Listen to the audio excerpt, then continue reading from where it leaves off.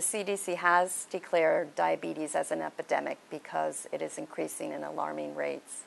Um, 23.6 million people in America uh, have diabetes. Uh, 5.7 million of them aren't aware that they have it. Um, the rate of diabetes has tripled from 1986 to 2006.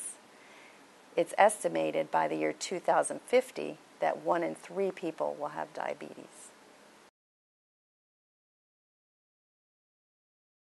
Diabetes is a very complicated disease and it can affect every aspect of a person's life. Um, our program will um, address all the important issues surrounding diabetes self management. That includes um, learning about medication, nutrition, exercise, um, blood glucose monitoring, um, preventing complications, problem solving, healthy coping. We identified a need for this diabetes outpatient program in our area because the incidence of diabetes in our community is increasing at an alarming rate. We felt that we would be able to provide the knowledge, tools, and support that people need to be able to manage their diabetes. Patients need to have a physician's referral to attend our class. Um, once we have that, they'll meet with the certified diabetes educator for a one on one assessment and then they'll uh, attend classes once a week for three weeks.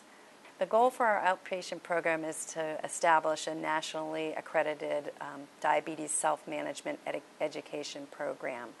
Um, we hope that we're able to offer um, education for people in our community about diabetes management um, so that they will be able to um, have better health outcomes, improve quality of life, and prevent complications from diabetes.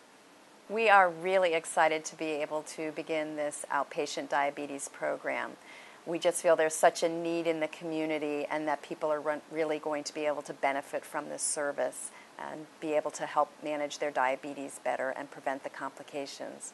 Uh, on top of this, we're so lucky to have the generous donation from the Eagle Bank Foundation because now we're able to offer this service to more members of our com- community who would not be able to participate otherwise.